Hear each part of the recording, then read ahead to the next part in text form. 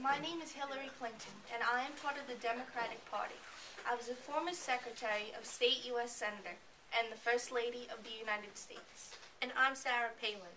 I am a part of the Republican Party, and I served as Governor of Alaska from 2006 to 2009. As President, I want to raise taxes so we can have a higher income bracket. I have to disagree. I feel that everyone benefits when the governor takes less from the people, no matter what their income taxes are.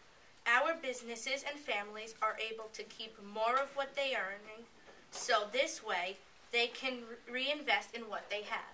Well, Sarah, being president isn't just about taxes.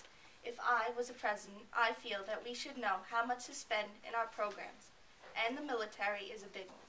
This is a great topic to bring up in our debate because I know as a Democrat you want to decrease the spendings regarding military issues. See, if I was president, I feel that we should be increasing the spending on our military who risk their lives in serving and protecting our country. I do appreciate all that the military does for our country, but I want to see the military budget used more effectively, with unnecessary spending cutbacks and funding eliminated for weapons that the Pentagon no longer wants. Hillary, we need to keep our army strong.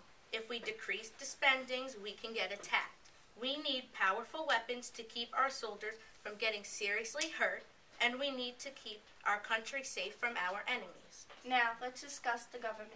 Okay, government has no right to control the way we live. We can make our own choices as individuals, and we should all share our power of freedom and liberty to all Americans. The government deserves to be shut down.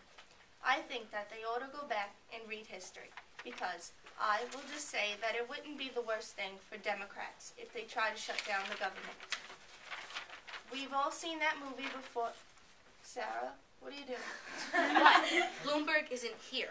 Government should not have control over what amount of soda we want to drink.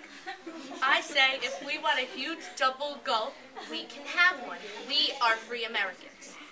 Thank you for joining us today and listening to our debate. We hope you got a better understanding of what we wish to accomplish as your next.